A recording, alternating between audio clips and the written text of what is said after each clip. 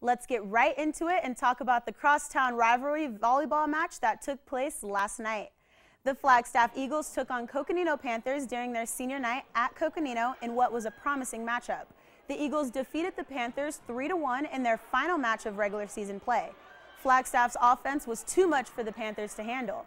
Eagles middle blocker Noni Thomas had nine kills and eight blocks for the night.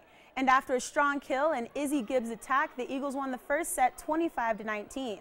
Flagstaff also won the second set. However, in the third, they decided to switch things up a bit. It was back and forth, and the Eagles could not overcome the Panthers. Coconino won the third set 25 to 23. In the final set, the Eagles got a little playback, payback and won 25 to 19.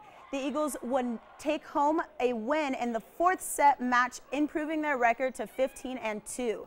Despite the loss for Coconino, both teams made postseason play.